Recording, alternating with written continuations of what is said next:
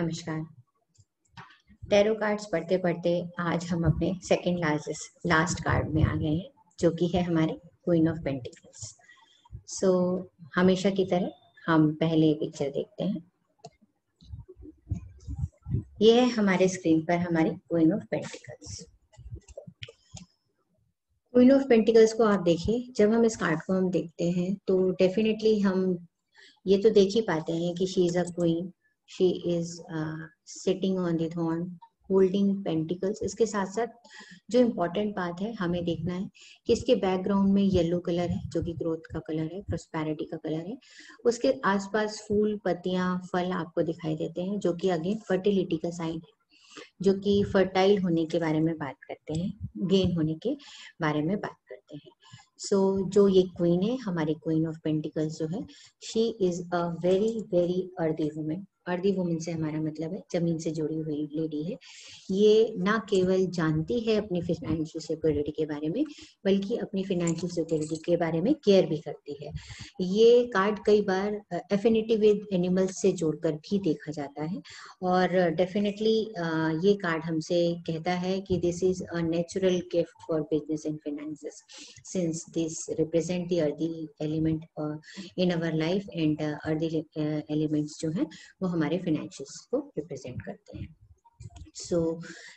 this queen is earthy and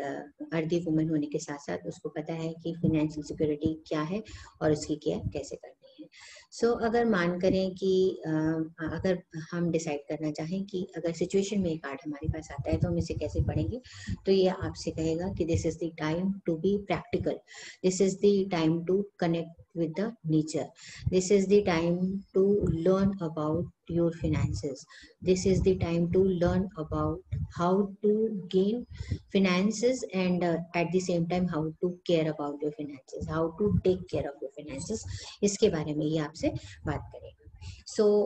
definitely uh, ये card जब भी आता है तो आपसे क्योंकि ये फर्टिलिटी भी दिखाता है तो आपको ये भी साथ में एश्योरेंस देता है कि situation is definitely going to improve आप अपने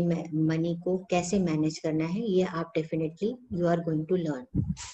so इसकी इंश्योरेंस ये हमें इस अपने साथ साथ देता है। अगर हम बिज़नेस केस में बिज़नेस जॉब या करियर के केस में अगर हमेशा पढ़ते हैं तो हमने पहले भी देखा, जब हम पेंटिकल के को पढ़ रहे थे तो हम हर बार यही बात कहते थे कि पेंटिकल के कार्ड्स हमारे बिज़नेस करियर और जॉब के केस में जब भी हमारी रीडिंग में आते हैं तो ये हमें एक पॉजिटिव साइड ही दिखाते हैं पॉजिटिव साइड देते हैं। तो डेफिनेटली ये कार्ड एज अ सिचुएशन जब भी आपके सामने आता है तो आपसे यही कहता है you are in the process of mastering your finances. You are in the process of mastering your career, your job. तो you are in the process. You are going to get that आपको अब अपनी situation को improve करने के आप रास्ते पे चल रहे हो और डेफिनेटली आपकी सिचुएशन फिनेंसेस को लेकर इम्प्रूव होने वाली है। इसकी एश्योरेंस आपको देता है।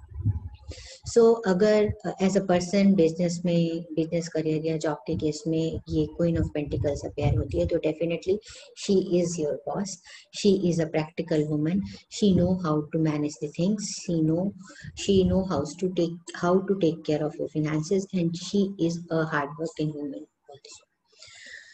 definitely uh, अगर कोई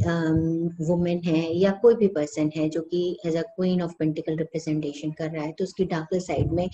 यही दिखाई देगा कि वो uh, इतना ज़्यादा फिनेंसेस को लेकर केयरफुल है कि समटाइम्स वो ओवर मेटेरियलिस्टिक बिहेव करती है। ऐसा लगता है कि अगर वो ठीक से ग्राउंडेड नहीं है या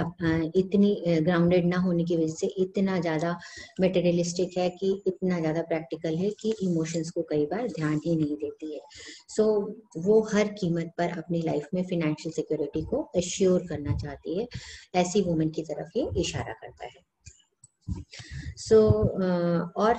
समटाइम्स अगर डार्कर साइड साइड के बारे में हम बात करें तो हमें ये भी कहना नहीं भूलना चाहिए कि वो इतनी ज़्यादा मेटेरियलिस्टिक वुमेन की रिप्रेजेंटेशन करती है एज अ डार्कर साइड कि कई बार वो दूसरों के हिस्से का क्रेडिट लेने क्रेडिट लेने में भी नहीं हिचकिचाती है। सो so, ये इस तरह की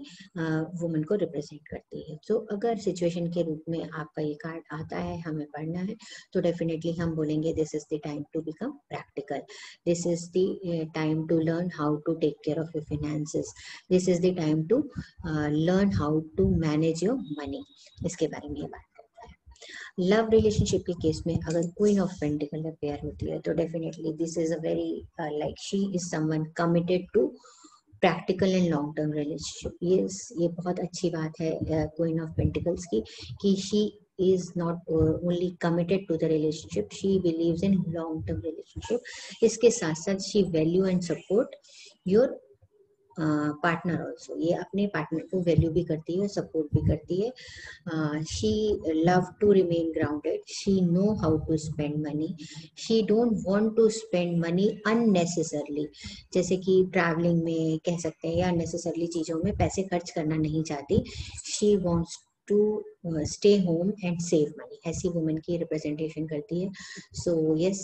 she is a kind of woman जैसे कोई भी आदमी अपनी लाइफ में चाहेगा, जो कि पैसे खर्च करती नहीं है फिनेंशियल सिक्योरिटी पे बिलीव करती है ग्राउंडेड है प्रैक्टिकल है लव्ड है और लॉन्ग टर्म रिलेशनशिप में बिलीव करती है और प्रैक्टिकल भी है साथ साथ में। तो she is a kind of woman like every one wants to wants her in her life in his life I I say. और हमें ये एक चीज़ ऐड करना नहीं भूलना चाहिए कि ये she is a kind of woman who loves nature nature प्रकृति को भी बहुत प्यार करती है। सो so, लेकिन जब ये कार्ड हमारे सिचुएशन में आता है तो डेफिनेटली हम एडवाइस करते हैं कि this is the time to travel या नेचर वाली प्लेस पे जाकर आप घूमिए, फिरिए किसी माउंटेन पे माउंटेन्स पे जाइए या बीच के किनारे जाइए, जो भी आपको अट्रैक्ट करती है you you should go that इसके बारे में बात करना है। और इसके बारे में, इसके साथ साथ हम ये भी एडवाइस ज़रूर देंगे कि आपको फिनेंसेस खाली स्ट्रॉन्ग करने या बैंक बैलेंस बढ़ाने के बारे में नहीं सोचना है। उसके प्रैक्टिकल एस्पेक्ट्स के बारे में भी सोचना उतना ही ज़रूरी है। और यस अगर आप फिनेंशियल सिक्योरिटी डेफिनेटली ज़रूरी है, पर फिनेंसेस को यूटिलाइज करना भी हैप्पी लाइफ के लिए बहुत ज़रूरी है। So this was all about queen of pentacles I hope आपको हमारी ये एक्सप्लेनेशन पसंद आई होगी। और अगर आई है तो don't forget to comment and please do like this video also thank you very much for watching God bless you